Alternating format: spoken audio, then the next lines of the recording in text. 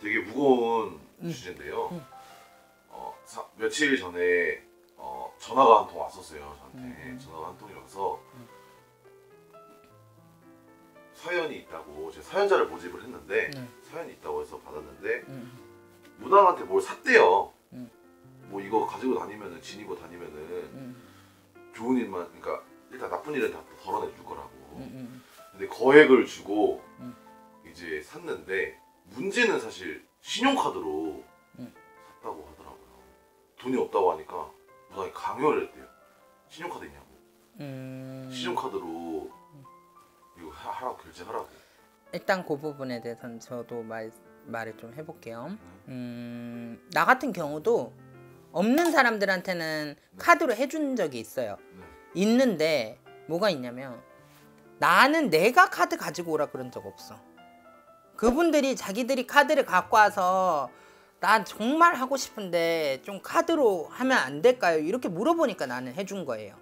근데 나는 내가 먼저 당신 안 하면은 누구 죽은 어, 가족 중에 누구 잘못되니까 카드 갖고 와 이런 적 없어 나는 어 근데 내가 저번에도 어떤 영상에서 제가 한 말이 한 말이 있는데 빚내 갖고 구타라 그러는 거 어?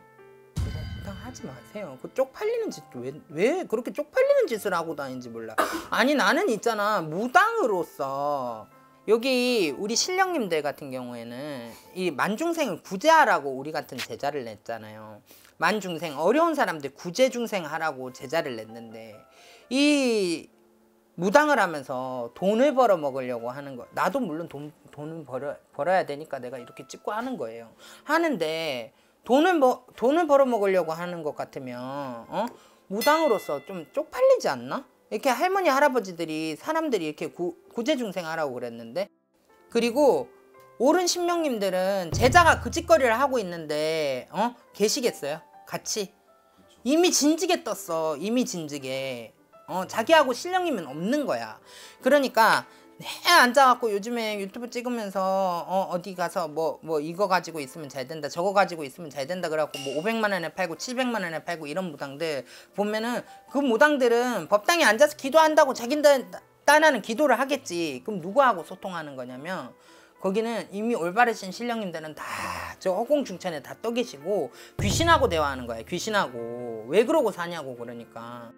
점집에 다니시는 분들도 이상하다고 생각을 안 들까?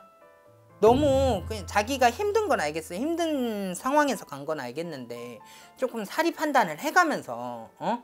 했으면 좋겠어. 그러니까 이 신의 세계가 굉장히 말도 안 되는 일들이 많아요. 말도 안 되는 일들이 많은데 그 말도 안 되는 일들이 현혹되지 마세요. 그냥 있잖아요. 점사 보러 왔으면 점사를 보면 굿이나 우리가 치성이나 아니면 뭔가 부적이나 기도 이런 거 아니면 해결할 방법은 없어요. 사실 그런 게 있어야지만 해결이 가능해요. 본인한테 안 좋은 게 있으면. 근데 있잖아. 돈이 있- 돈이 자기한테 돈이 없으면 그 돈 자기가 가지고 있는 돈의 형편에 맞게 하라는 거예요. 그리고 어 무당들 나쁘다 할거다한 개도 없어. 거기에 거기에 현혹되는 그 사람들 또한 어 그거 한 거야. 그러니까 이제는 좀 현명해지자고요, 우리. 자기가 바른 길로 가지를 않으니까 어 인간의 힘으로 이거를 자꾸 메꿔놔야 되잖아. 그러니까 거짓말도 해야 되는 거고 사기도 쳐야 되는 거고 앞에 앉아 있는 사람들한테 그런 거지. 이 신에서 도와주시는데 내 신령님 믿으면 되는데 뭐가 걱정이야. 뭐가 걱정이고 뭐가 그렇게 후달려 가지고 그렇게 그런 사람들한테 카드 갖고 오라 그래갖고 카드 갖고 먹고 살면 좋냐? 아휴